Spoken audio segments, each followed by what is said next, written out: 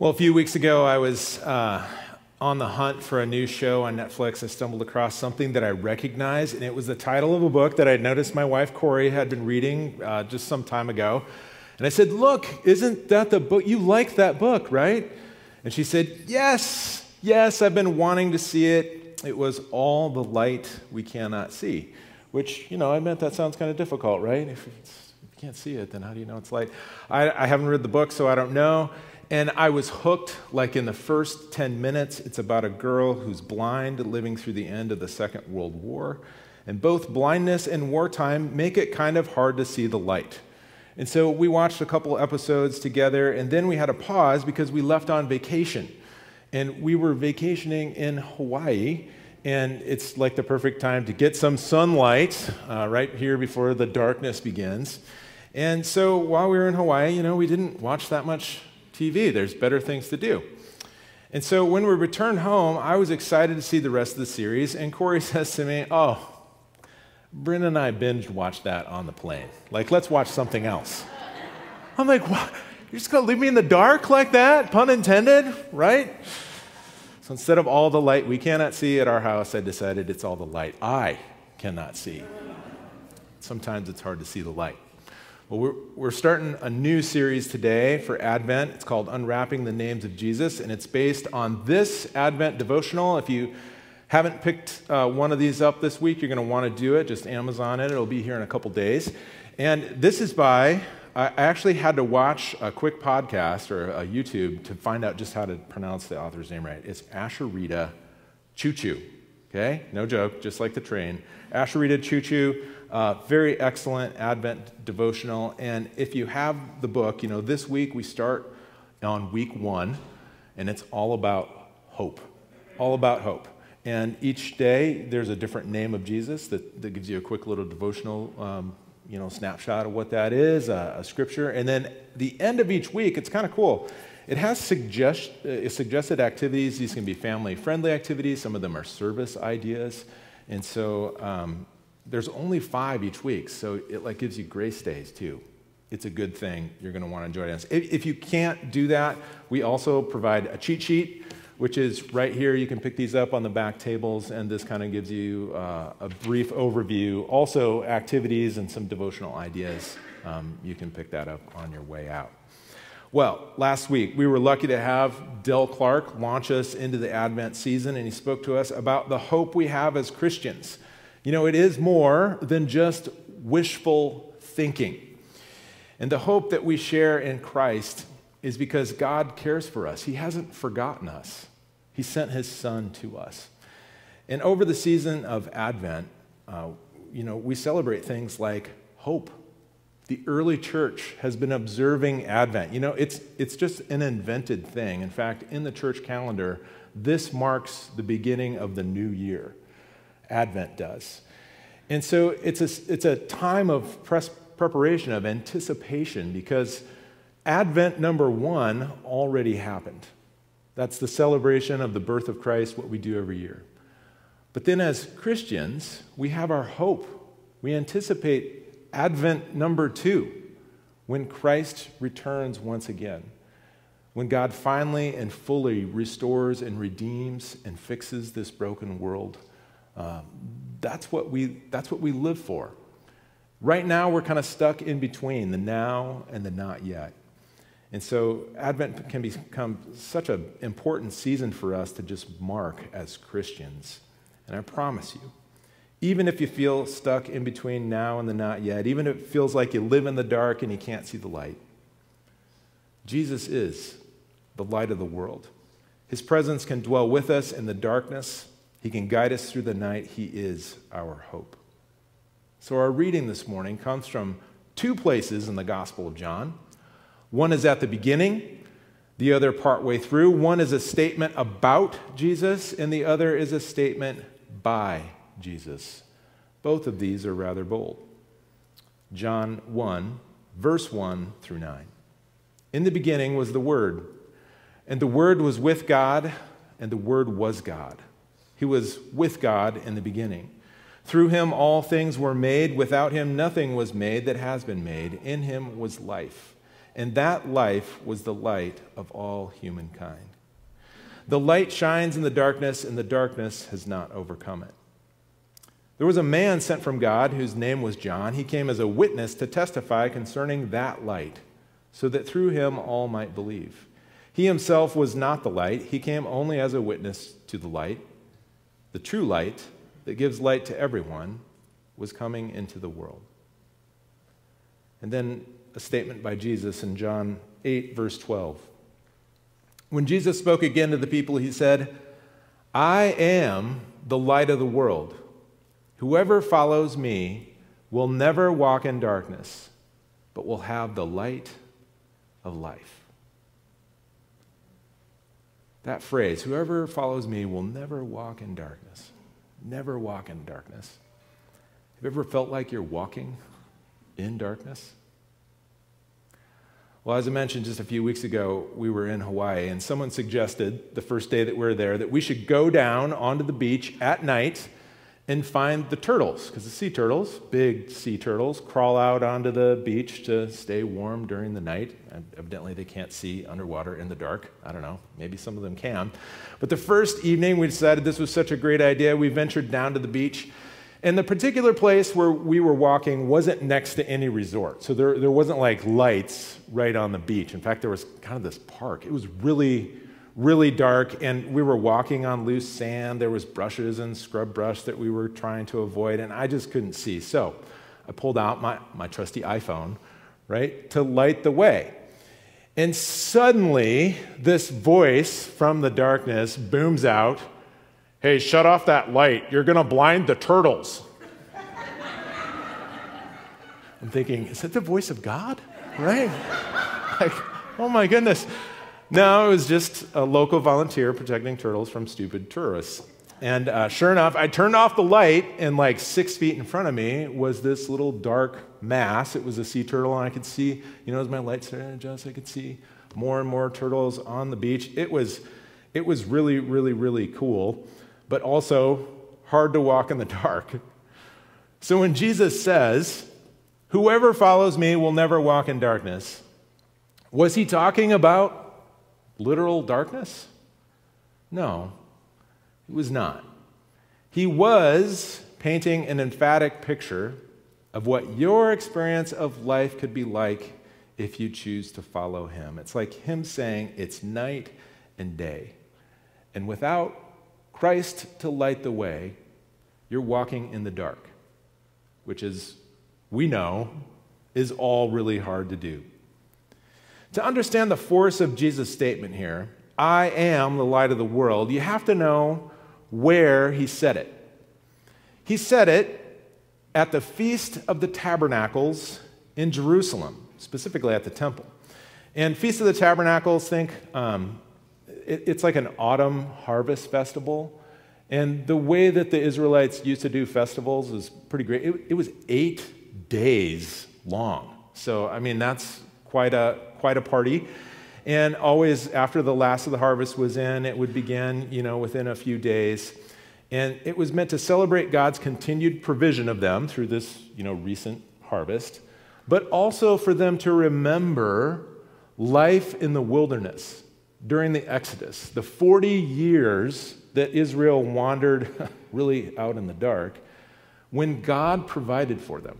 It was a way of God saying, hey, I've got you. Remember, I will provide for you, I will guide and protect you. So they would, you know, this feast happened every year. It was called tabernacles, which sometimes that's confusing because we associate that with the tabernacle, like the place where God dwells, and that eventually became the temple. But a tabernacle is really just like a tent.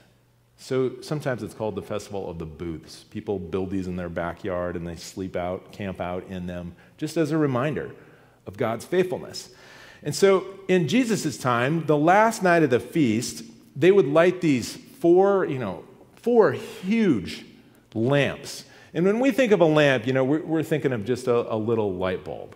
No, these were enormous. They were like hanging cauldrons that were filled with olive oil, and they would use whole garments as the wick. Okay, so that gives you a sense of the scale. These things were massive.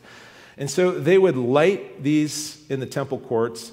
You know, an orchestra would play, men would dance around with torches, singing praises to God. I mean, it was enchanting, it was festive, it was beautiful. In fact, rabbinical writings from that time period describe it as a wonder. This was a wonder. And in a world without like public night lights, you could, I mean, every night it's dark. And then suddenly you can see in the distance the temple glowing, you know, bathed in these lights. It would have been spectacular and moving. Well, in ancient Judaism, light symbolized God's presence. Have you ever heard the lamp of God, aka the menorah? a picture for you. We're not really sure, uh, Bruce, you can put that up. We're not really sure what the menorah in the temple looked like. In fact, there was, it started with one. This was written about in the Torah, like Moses was commanded to make this lamp, which stood inside the tabernacle and in, in, the temple, and eventually they made more. But this, this is like the national emblem of Israel. And, and for those of you, uh, those of you like me who aren't Jewish, you go, oh, isn't that, you know, Hanukkah? Well, yeah, Hanukkah was the Maccabean revolt, 164 BC, when, when they had one day of oil for the, the temple menorah, and it didn't run out of oil. It lasted eight days till they could make more. That's where the tradition, the, the, the celebration of Hanukkah began.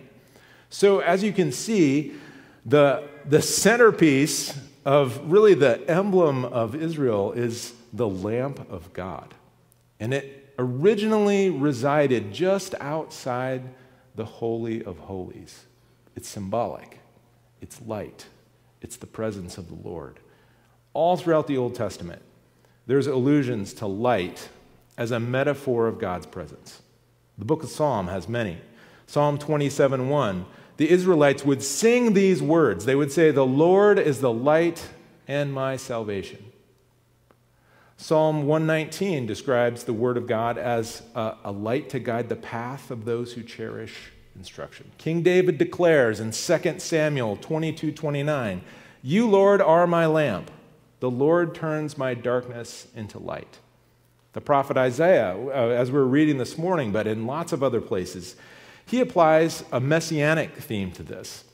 He, he talks about the servant of the Lord was appointed as a light to the Gentiles, that he might bring God's salvation to the ends of the earth.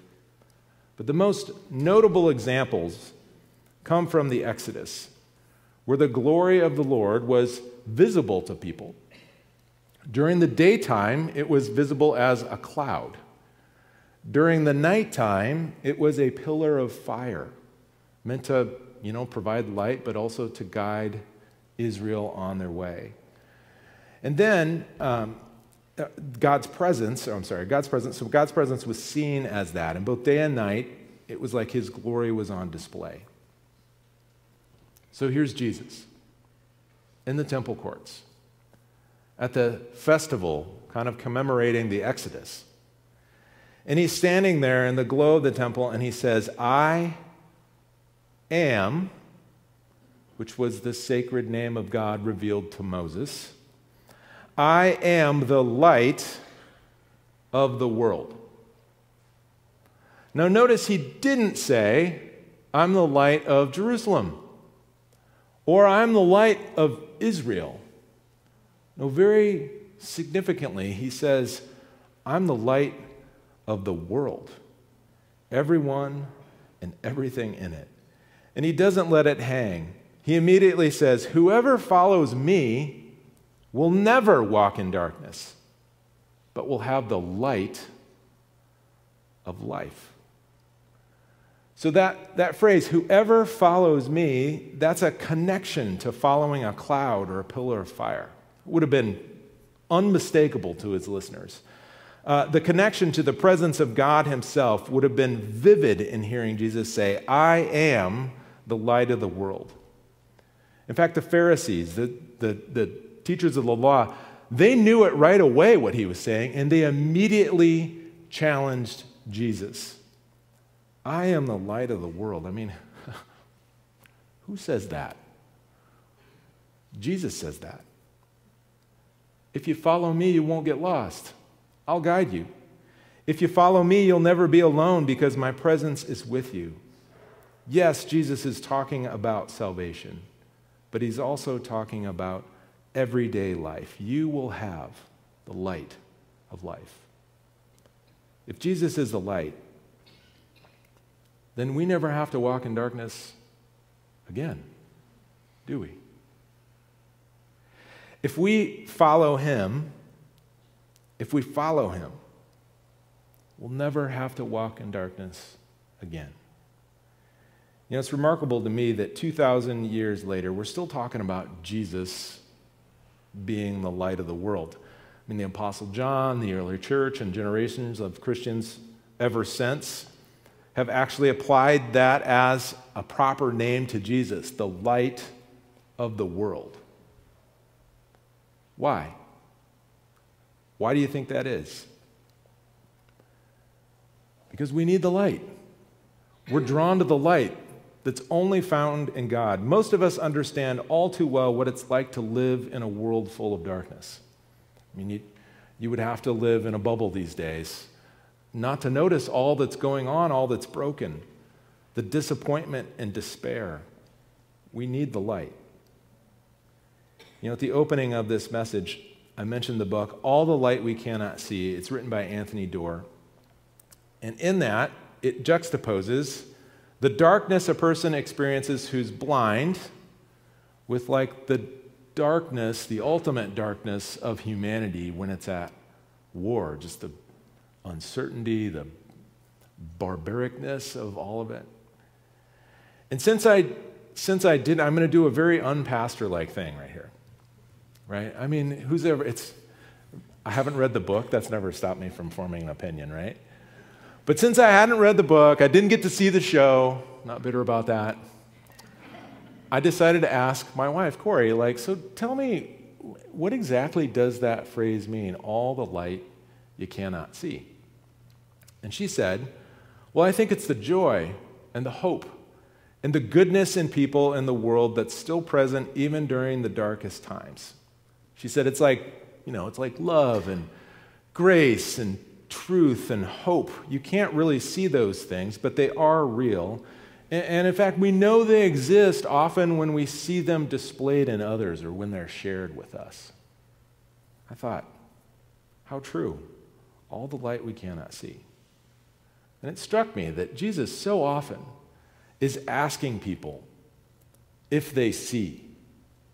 Um, in fact, the parable of the sower that I think Angela preached on that just a few weeks ago, that has this section in there where Jesus quotes Isaiah, the prophet Isaiah, who, who made this statement like, May you be ever hearing but never understanding, um, ever seeing but never perceiving.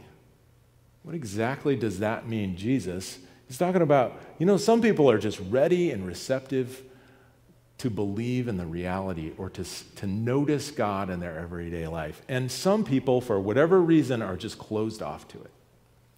Uh, I, I, had a friend in, in high school, actually, who just, he, he'd tell me, Dan, I'd, it'd be easy to believe in Christ if I could just see a miracle.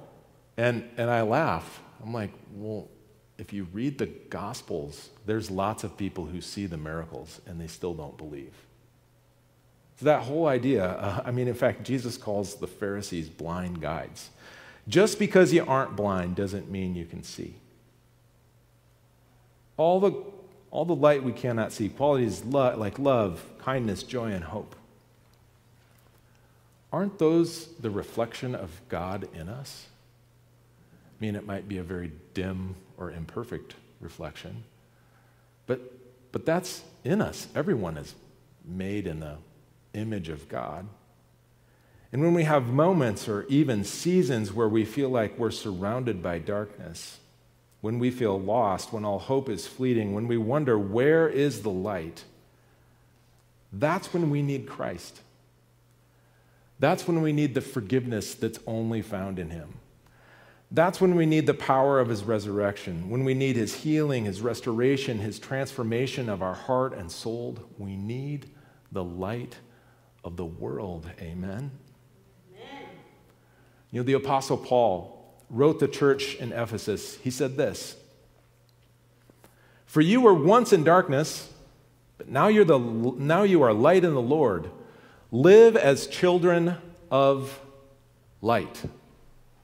For the fruit of the light consists in all goodness, righteousness, and truth. He goes on in verse 10 and find out what pleases the Lord. Have nothing to do with the fruitless deeds of darkness, but rather expose them. It's shameful to even mention what the disobedient do in secret, but everything exposed by the light becomes visible, and everything that is illuminated becomes a light. That is why it said, Wake up, sleeper, rise from the dead, and Christ will shine on you. But here's the thing Christ will not just shine on you. When you put your faith and re- let your hope rest on Christ, I mean, light, his light shines in you, through you. Don't hide the light. When you're a child of the Almighty, when you're a child of the light, let the light shine. And I wanted to close our time together this morning by sharing um, one of my favorite illustrations that uh, illustrates this point so beautiful, beautifully. And I, I know that I've shared this before, but it's been a while. Um, in 1990, uh, President George H.W. Bush was dedicating the National Cathedral that's in Washington, D.C. And it has this enormous stained glass window in it. And it's like the centerpiece. You walk in the sanctuary, and I mean, it's just unmistakable. There it is. And so during that, he, he gave this speech. And during the speech, he compared the human soul to a stained glass window. And he said this From where we stand now, the rose window high above seems black and formless to some, perhaps, but when we enter, we see it backlit from the sun. It dazzles in astonishing splendor and reminds us that without faith, we too are but stained glass windows in the dark. We too are but, without faith, without the light of Christ, we too are but stained glass windows in the dark. And at his memorial service, uh, Reverend Russell Levenson said that President Bush understood that even in the darkest of nights, things can be transformed if handed over to the redemptive power of the Almighty. No one on that first Good Friday expected Easter Sunday, but it came. It came because the light that brought creation into being also brought life from the grave. You know, without faith, we're all just like stained glass windows in the dark. But when the light of Christ dwells within, our eternal hope rests with the one who can bring life from the grave. He's Jesus, the one who we celebrate this Christmas and every Christmas, the one who's we all know as the light of the world. Please join me in prayer.